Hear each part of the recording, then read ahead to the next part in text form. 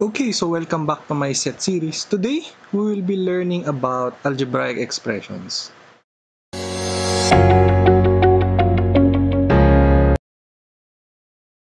So, algebraic expressions, or we can abbreviate them by AE, ay basically uh, any combination, no? Any combination of uh, variables So, ang variable ay can be any letter or any word and constants.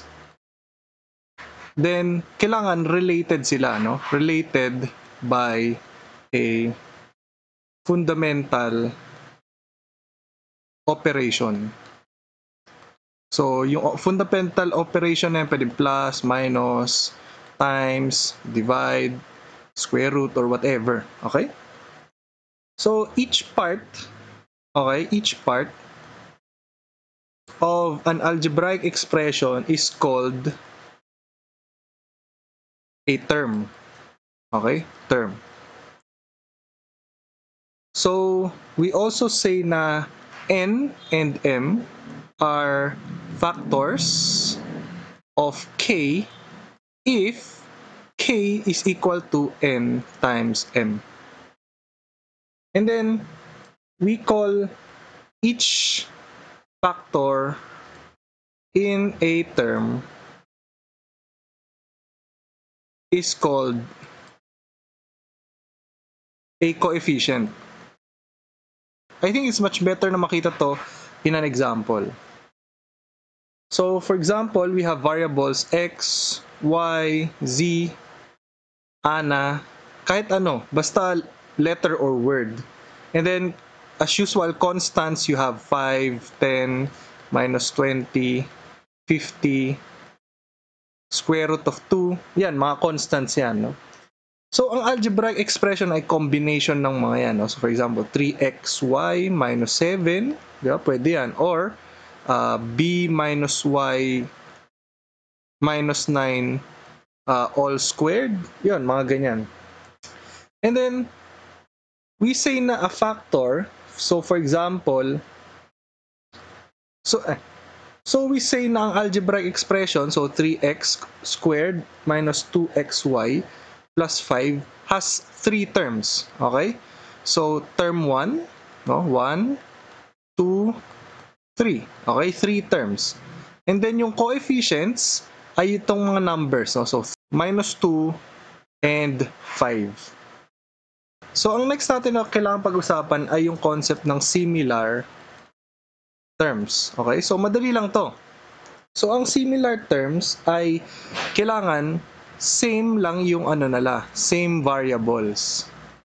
Okay? So, for example, 7x squared y and 6x squared y, similar terms yan. Kasi parehas sila na yung variables nila ay x squared y and x squared y.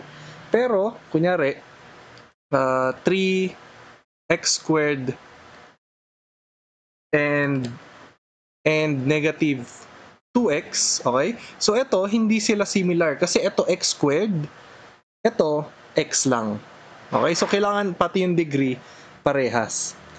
So, baka minsan may nalilito sa inyo. So, kunyari, x squared over 5 and kunyari, 10 over x squared pwede nyo sabihin na, ah, same sila or similar sila kasi parehas x squared. Pero actually, hindi sila similar terms. Okay? So, next natin na kailangan pag-usapan ay yung domain. Okay? So, hinahanap natin yung domain ng algebraic expression, no? So, for an algebraic expression, let's say in x, no? Yung domain ay the set of all possible uh, replacements, no? Let's call them replacements for x. Okay?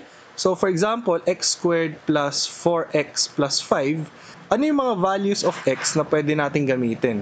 So, basically, lahat, ba? So, pwede natin na sabihin yung domain ay equal sa, let's use the set builder notation, x such that x is an element of the real numbers. Okay? Pero, For example, we have 3x over x minus 4. Ito, hindi pwedeng maging 0 yung denominator natin. Tama? So, yung domain natin dito ay x such that x is an element of all real numbers pero x should not be equal to 4. Okay? So, nadagdagan lang tayo ng isang condition dyan. Okay? So, we can also extend this into more terms. No? So, kunyari, we have 10 over x plus 5 and x plus 3. So, ang domain nito ay x such that x is an element of all real numbers basta yung x is not equal to negative 5 or negative 3. No? Kasi kundi magiging 0 yung denominator.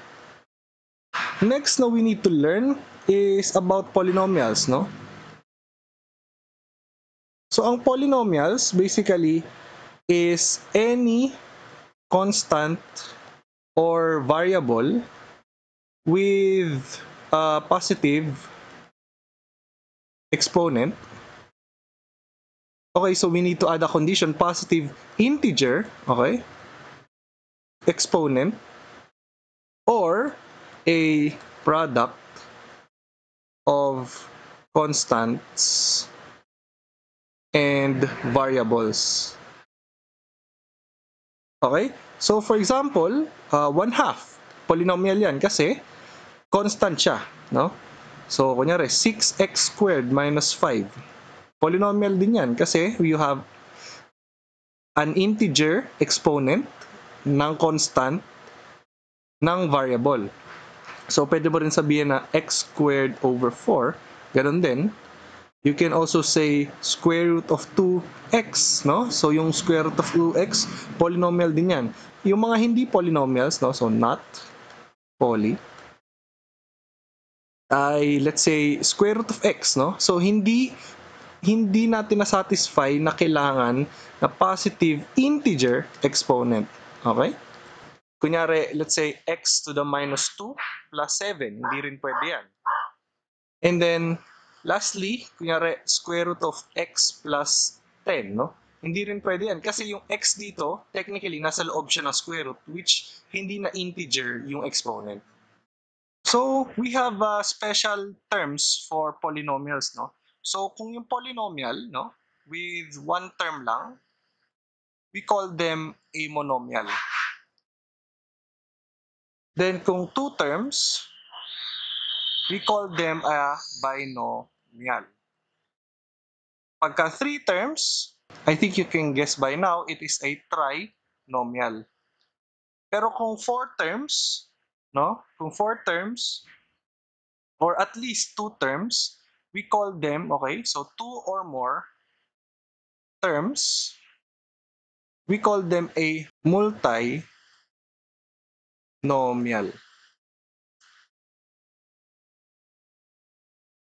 Okay, so that ends our lecture for today. If you have any questions, just leave them in the comments down below.